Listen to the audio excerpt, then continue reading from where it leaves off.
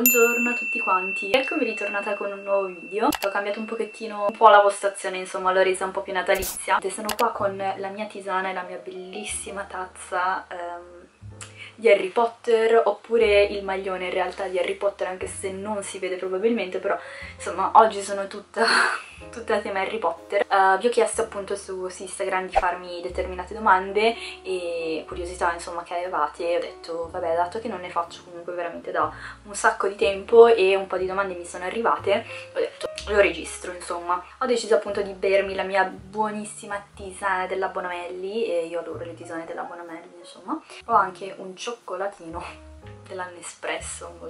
In realtà volevo sgranocchiare qualcosa, però non mangiare troppe schifezze e ho detto vabbè, optiamo per un cioccolatino.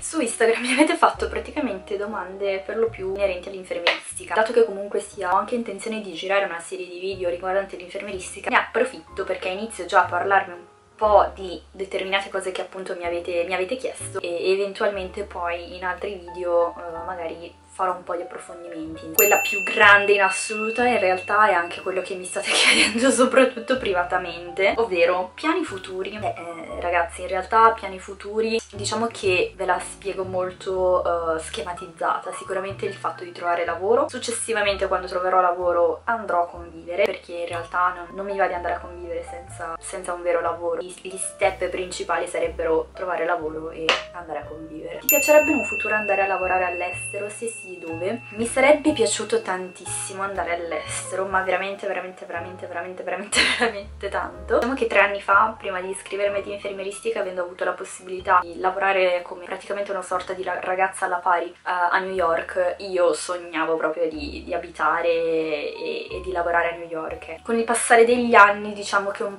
po' questa cosa si è... Eh, un po' placata diciamo, ovvero il fatto di voler, di voler andare all'estero e di pretendere di voler andare all'estero eh, dal momento in cui comunque ho conosciuto, ho conosciuto Marco. Diciamo che ogni tanto cioè, ci capita di parlarne, ecco, però sicuramente non è una cosa che posso prendere in considerazione prendere e andare, ok? Perché comunque ho preso un impegno con una persona, quindi so, mi sembra veramente brutto prendere la decisione così di punto in bianco senza neanche parlarne, però sicuramente eh, in passato sarebbe piaciuto non al 200% ma di più. Io mi ricordo che appunto il primo anno avevo fatto domanda per andare a fare Erasmus ed ero passata all'università di Corugna in Spagna, solo che me ne avevano parlato malissimo, attualmente quindi no, però diciamo che mi lascio la porticina aperta. Sono fuori corso di infermieristica e spesso mi sento inadatta. Hai mai avuto momenti di, di difficoltà all'uni? Ho fatto di tutto pur di non andare fuori corso, eh, anche perché andare fuori corso, specialmente in un corso come, scusatemi il, il gioco di parole, andare fuori corso in una facoltà come la nostra è veramente difficile. Mm anche perché poi si entra un po' in un loop. Ho sempre cercato di, di, di restare al pari con tutto. Ho avuto momenti difficili in università, tantissimi, però diciamo che ho sempre cercato di non perdere l'obiettivo principale, ovvero laurearmi il prima possibile. Avevo detto che mi sarei laureata a novembre, cascasse il mondo, infatti è arrivato il covid, quindi il mondo è quasi cascato. Io comunque sia mi sono laureata in tempo, ecco. La cosa che mi sento di consigliare è che se vuoi veramente questa cosa, se vuoi veramente arrivare fino alla fine e di continuare imperterrita per la tua strada, nonostante gli ostacoli immagino siano veramente complicati col fatto anche che dici io mi sento inadatta quante volte mi sono sentita io inadatta nonostante fossi in corso in questo appunto eh, corso di infermieristica. Tante volte io mi sono sentita inadatta tante volte mi sono sentita vecchia tante volte mi sono detta mamma mia ma chi me lo fa fare? Come ben sai ansia del secondo anno di infermieristica come superarla? Allora per questa domanda mi sa che siete la persona sbagliata perché io sono non ansiosa ma di più veramente veramente veramente super ansiosa. La cosa che pensavo quando magari ero in ansia pensavo di non farcela e dicevo ma cavolo ma cioè ce la fanno tutti ma perché non ce la dovrei fare io? Lo so che forse è un po' misero però diciamo che nonostante appunto le difficoltà diciamo che ho sempre trovato, ho sempre guardato ok? Nonostante io veramente passavo giorni in cui non ero negativa ma di più ho sempre cercato di guardare il, il bicchiere mezzo pieno finché alla fine appunto dopo tre anni mi sono ritrovata a percorso finito ecco ogni tanto ancora ci penso e dico mamma mia ma come facevo io anni fa? Eh in realtà me lo chiedo ogni giorno, però ragazzi l'ansia, l'unica cosa che diciamo che può scalfirla, diciamo così, è il prepararsi tanto, studiare tanto tanto tanto tanto tanto tanto tanto tanto come stai dopo la laurea? hai progetti in futuro?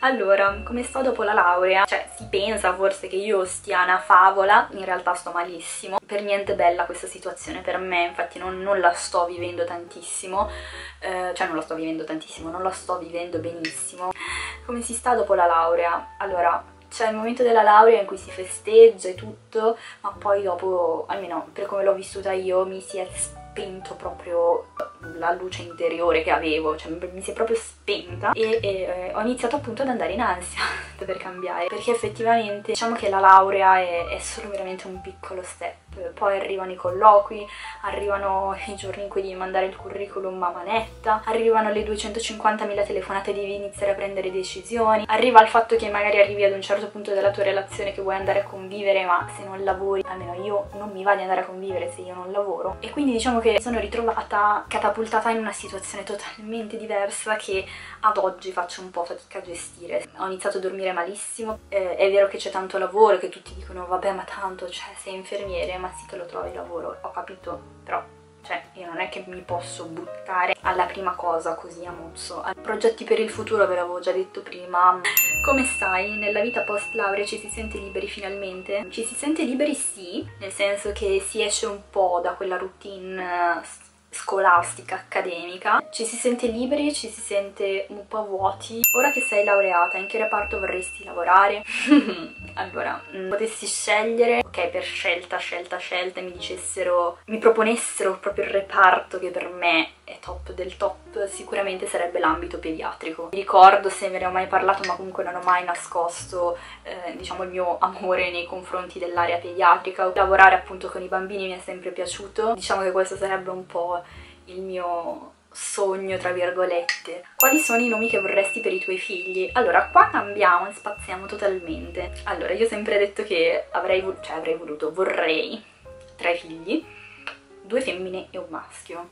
Allora io il maschio lo chiamerei Andrea ma perché a me il nome Andrea proprio piace tantissimo. Lo so che è un nome comune lo so che forse è banale ma a me Andrea piace tanto tanto tanto tanto tanto come nome Oppure per esempio un altro secondo nome possibile sarebbe Liam, che appunto però non è un nome italiano, mi piacerebbe tanto. Uh, invece per un, cioè, diciamo, un nome femminile, um, sicuramente, vabbè, lo so che eh, potrei sembrare un po' egocentrica o cosa, però mm, il mio nome, ok, sarebbe un nome unico ma è composto da due nomi, con uno spazio in mezzo e dato che sono sempre stata un po' penalizzata sotto questo punto di vista perché il mio nome è sempre stato storpiato da quando sono nata c'era chi mi chiamava Carolan, c'era chi mi chiamava Carol, chi mi chiamava Ann, uh, chi Carol Ann, cioè insomma Carol Ann, Carola, cioè veramente vi giuro che è stato veramente storpiato in tutti i modi.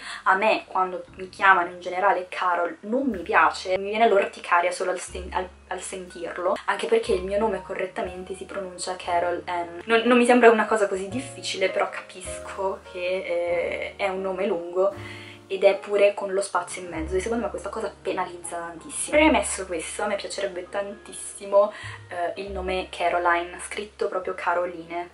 Lo so che sembra una cosa un po' così, però vabbè. Poi un altro nome femminile che mi piacerebbe tanto è Emma sicuramente. Come funziona l'esame di stato per l'abilitazione ad infermieristica? Contate che eh, inizierò a farvi cioè, una specie di anteprima dicevo vi faccio una breve anteprima insomma del video che poi sarà effettivamente. Nel senso che ho intenzione di girarlo un video esclusivamente sull'esame di stato. A parte che in giro non, non ne ho visti proprio su, su youtube. Eh, e in più perché comunque sia diciamo che il mio esame di stato è stato un po' particolare. L'esame di stato senza covid quindi prima del periodo covid è un esame che si, almeno nella mia università si fa in forma scritta prima della discussione prima proprio del giorno della laurea. Noi a causa covid abbiamo dovuto voluto fare le lauree a distanza, io mi sono laureata il 18 di eh, novembre, abbiamo appunto fatto queste lauree a distanza con la mattina prima di eh, fare la discussione abbiamo fatto l'esame di Stato. L'esame di Stato eh, l'abbiamo fatto appunto con delle domande, tre domande se non mi sbaglio, due chiuse e una aperta. Tecnicamente questo non è proprio l'esame di Stato che anche solo banalmente l'anno scorso si faceva. È stato così a marzo per quelli che si sono appunto laureati a marzo e poi è stato così anche per noi alla fine perché ehm, siamo entrati appunto nella fase di lockdown eh, proprio nel momento in cui noi comunque dovevamo sostenere l'esame di Stato perché tecnicamente noi dovevamo fare tutto in presenza poi alla fine di PCM, Conte che arriva con tutti i suoi decreti eccetera è stato rivoluzionato un po' tutto all'ultimo. Però diciamo che eh, l'esame di Stato, un po' la discussione, tutto dipende un po' dalle varie università. Quindi da me si è fatto così. Io so che invece in altri posti eh, hanno comunque fatto l'esame in presenza. Diciamo che laurearsi in piena pandemia non è stato proprio il massimo, ma d'altronde o così oppure non ci laureavamo, insomma. Queste erano le domande, eh, ho cercato di rispondere un pochettino a, a, tutte le domande, sicuramente ne arriveranno altre, ma eh, farò prossimamente un altro Q&A sicuramente. Mi mangio il cioccolatino con voi, perché me lo merito. Giuro che non mangio quasi mai cioccolatini, però...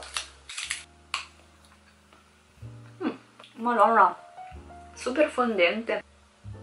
Niente ragazzi quindi questo qui era il video. Io spero tantissimo che eh, vi sia piaciuto ma soprattutto che vi abbia un attimo rilassato. Era un video veramente molto chiacchiericcio. E niente so che comunque in generale i Q&A possono interessare quindi sicuramente in un futuro ne farò altri ecco.